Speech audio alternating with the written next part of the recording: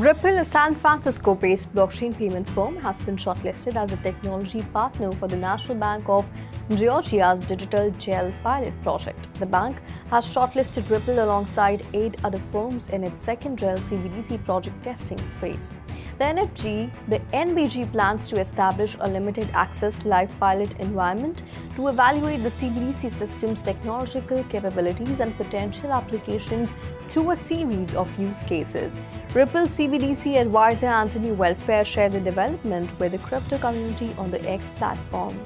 The National Bank of Ghana announced that nine firms have been identified as having the necessary technological prowess and experience to participate in the pilot initiative for the bank CBDC move.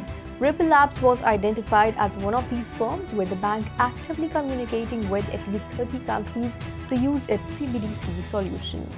The US National Security Agency has announced the establishment of AI Security Center to manage the integration of AI capabilities within U.S. Defense and Intelligence Services. General Paul Nakasone, Director of the NSA and U.S. Cyber Command, emphasized the growing significance of AI in national security and emphasized the center's role in shaping AI technology's future in these sectors.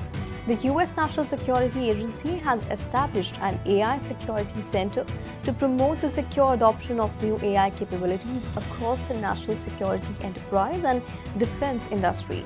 The center will be part of the NSA Cybersecurity Collaboration Center, aiming to prevent malicious foreign actors from obtaining US AI innovations. The NSA study identified securing AI models from theft and sabotage as a key national security challenge, particularly as generative AI technologies emerge with transformative potential for both good and bad actors.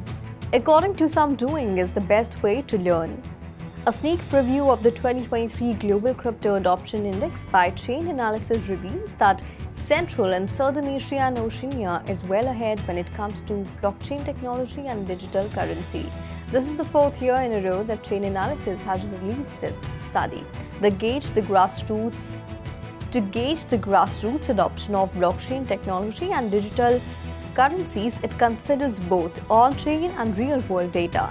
The CSAO area is home to six of the top 10 nations India, Nigeria, Vietnam, the US, Ukraine, the Philippines, Indonesia, Pakistan, Brazil, and Thailand are listed in that order.